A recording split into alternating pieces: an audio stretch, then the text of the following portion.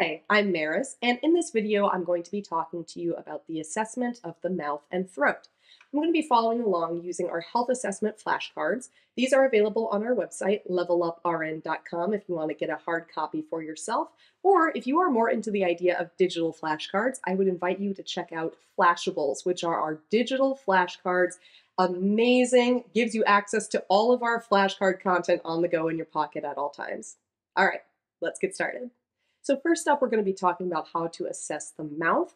When we are looking inside the mouth, we're going to be looking uh, mostly, again, for things like symmetry, color, size, shape.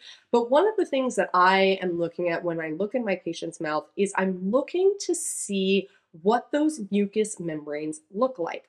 Are they nice and pink and moist, or are they dry and cracked and pale or are they red or are they jaundiced or cyanotic in some capacity? Remember, here, mucous membranes uh, are a very good place for me to assess for changes to my patient's skin color, especially if they do not have white or fair toned skin. So when I'm looking in the mouth, I can also be assessing for some integumentary changes as well. Things I want to look for uh, when I'm talking about the throat, I'm going to be looking in the back of the throat and at the uvula, which is that uh, thing that hangs down there in the back of the throat. And what I'm expecting to see is that when I have my patient say ah, right, we have them open their mouths, say ah, that's not just for fun. What I'm doing here is I actually am trying to see that the uvula is going to rise and it's going to rise midline during phonation, meaning when I say ah, that that uvula should rise midline during that time. So that's what I'm looking for when I ask my patient to say ah. I'm also going to be looking at the, the palate, uh, the, the hard and the soft palates, uh, to be assessing for uh, that skin there. What does it look like? Is it intact? Is it smooth? Is it pink? All of those different things that I can be looking for. Now, one of the most important things that you may be finding in your patient's throat is going to be their palatine tonsils. So, palatine tonsils are going to be these tonsils back here on either side of the throat. Uh, and if your patient has them, as in if they are not surgically absent, then you need to be assessing them. So, what are we doing when we are assessing? We're going to ass assess the location of the tonsils and the size of them. So, do I see them and they are both in the same, they're, they're both on one on either side, but they are occupying the same amount of space in, in my patient's throat? Or do I have two tonsils, but one of them is really swollen and protruding further into the airway than the other? That's something that I'm going to need to know, right? The other thing is that we can actually grade these tonsils. So when I look in my patient's mouth, I can assign a grade based on how large they are. And we will talk in a moment about unexpected findings. However, the expected finding is for my, my tonsils to be one plus or two plus. And that, that is what we should see on an average human being who does not have surgically absent tonsils. And then if indicated, at this point in time, I can go ahead and assess cranial nerves 9, glossopharyngeal, 10, vagus, and 12, hypoglossal at this time uh, because that would be all parts of the cranial nerves that are innervating uh, the, the mouth and throat. So that is when that would be an indicated assessment if it is required for your patient at that time. Now, when it comes to unexpected findings, remember that I told you that we expect to see a nicely hydrated mucous membrane when I look in the mouth. However, if I see dry or cracked lips or mucosa inside the mouth, this says to me it's not a well hydrated mucous membrane, and that's probably because of dehydration. So that is a very, very important indicator there. If I do see that dryness or cracking uh, of the, the lips or the mucous membranes, you need to be considering that this could be uh, related to your patient's hydration status. Uh, but now I want to go back and talk about tonsil sizes here. So let's review really quickly. What are the different sizes of tonsils? How do we grade them? And why does it matter? So size zero. If I give a zero to tonsils, then that means that they are not present. Usually that means that they have been surgically removed.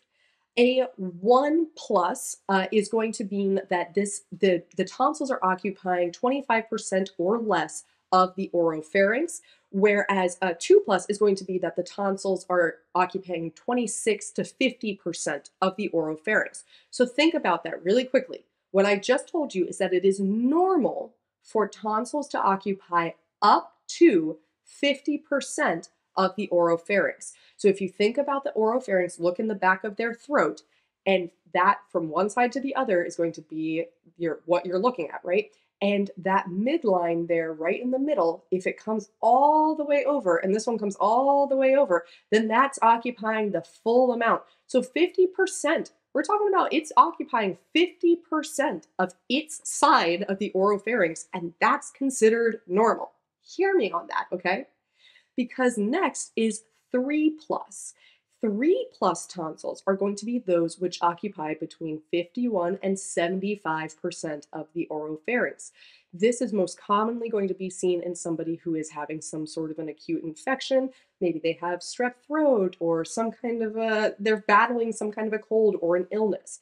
Um, but then 4 plus means that the tonsils occupy greater than 75% of the oropharynx and may actually even touch they may touch. This is considered 4 plus. If I have tonsils that are occupying more than 75% or they are touching, those are 4 plus tonsils.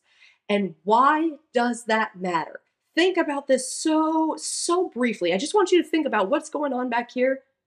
The airway, right? This is my whole airway. And if I have two tonsils, two palatine tonsils that are up against each other, touching one another, think about how much of my oropharynx is being taken up just by the presence of the tonsils. How am I going to be able to manage my secretions, to swallow my food, and even to protect my airway if it is partially or fully blocked by my tonsils? So, very important that your patient, especially with 4 plus tonsils, patient with big tonsils, but 4 plus especially, they are at risk for airway compromise. And you've got to learn it, love it, get a necklace that says it because you know that if it is compromising the airway, it is a huge priority for you as a nurse and as a nursing student. All right, now let's test your knowledge of some key facts I provided in this video with some quiz questions. What is the expected finding for tonsils? 1 plus or 2 plus? How should the nurse describe tonsils that occupy greater than 75% of the oropharynx? 4 plus.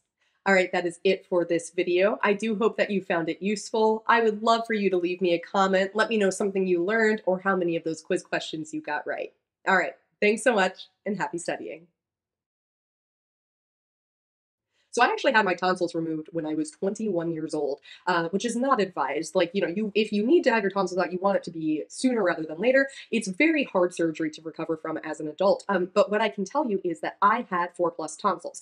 I had tonsils that were perpetually touching. Uh, and this may be due to the fact that I have an inflammatory condition at baseline, I have an autoimmune condition, or this could just be that I'm somebody with big tonsils. But I used to get strep throat like two, three, four, five times a year. And every year, up, up through the age of 21, which I'm very lucky, I didn't end up with rheumatic heart fever or anything like that. So, so um, but when I went to the ENT and he asked me, stick out your tongue and say, ah, I vividly recall him passing a light and going, yep, those are four plus tonsils and we will be removing them. And he's the one who taught me at the age of 21 about what the tonsil grading system means and, uh, and essentially why we were going to take my tonsils out at 21. He asked me, are they always like this? And I said, yeah, every day of my life. I didn't know what a big deal that was. When they took them out, yes, it hurt a lot. And I had a lot of, you know, it took me a week to recover probably. However, I didn't know it was abnormal to have a sore throat every single day of your life. I just assumed everybody did. I didn't know it was abnormal to get strep two, three, four, five times a year. Had no idea. I didn't know it was abnormal to to have such a difficult time breathing while you sleep. As soon as they removed my tonsils, I have had strep throat one time since then. I'm 35 now. So in 14 years, one time versus multiple times in a year. And my throat doesn't hurt anymore. It only hurts when I'm ill. Incredible.